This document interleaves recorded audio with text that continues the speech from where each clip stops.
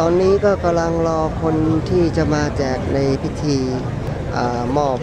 หมวกกันเนี้ยรรอประธานใครเนี่ยอบจหรือเปล่าเนี่ยงงตึบ